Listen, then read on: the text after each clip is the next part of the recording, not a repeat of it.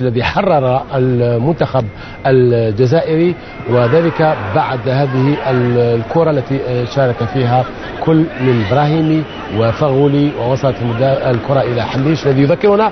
بأيام كأس العالم في البرازيل هدف مقابل